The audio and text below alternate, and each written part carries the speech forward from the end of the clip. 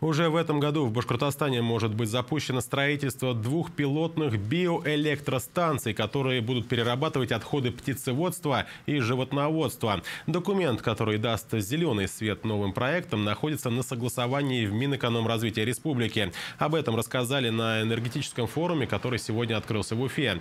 Они будут возводиться по договорам предоставления мощности. Механизм подразумевает следующую схему. Поставщик принимает на себя обязательства по строительству и вводу доходу генерирующих объектов, ему гарантируется возмещение затрат через повышенную стоимость мощности.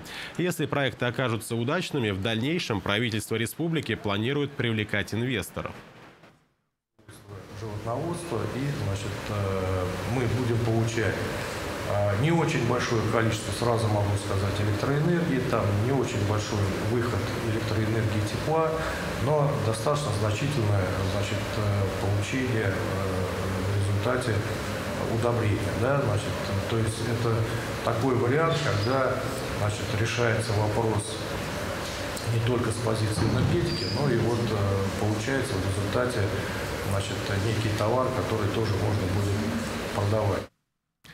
Срок окупаемости биоэлектростанции около 4 лет. Объем средств, необходимых для реализации проектов, пока не уточняется. Кроме этого, Минпроминновации Башкортостана прорабатывает проекты по ветровым и гидроэлектростанциям.